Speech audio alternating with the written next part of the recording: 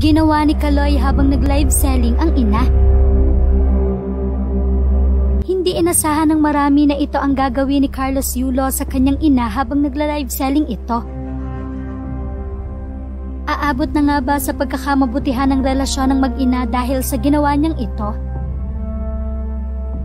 Matindi na nga ang lamat ng hitwaan sa relasyon ni Kaloy laban sa kanyang pamilya. Partikular na sa kanyang mga magulang.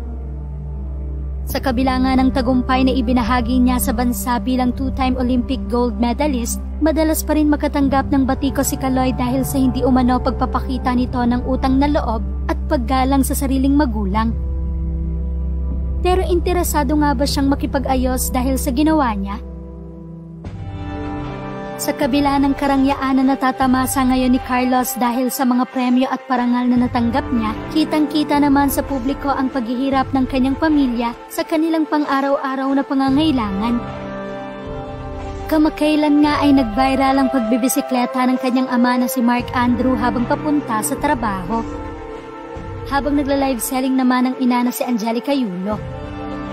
Katulong ni Angelica sa live online selling ang kanyang anak na si Carl Andrew Yulo na isa ring artistic gymnast. Kahapon nga ay muling nag-live selling si Angelica at hindi nakaligtas sa netizens ang pag-pop up ng notification ng panonood ng anak niyang si Carlos Yulo sa live nito.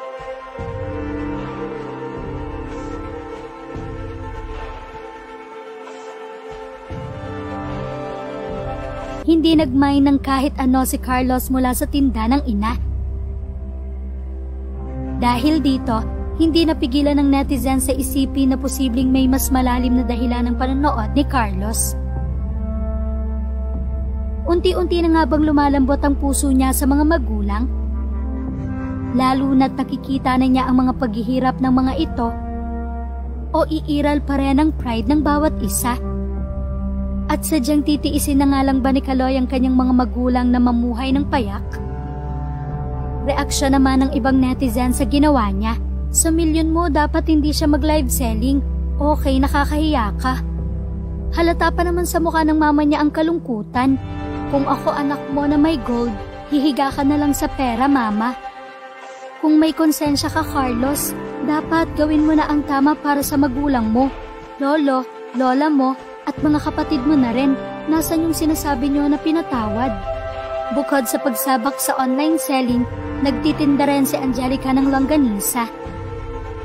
Ilan lamang ito sa paraan ng pagpapakitang hindi umaasa ang kanilang pamilya sa mga premyo at regalong natanggap ni Carlos sa isa ng certified multimillionaire dahil sa tagumpay niya sa Paris Olympics.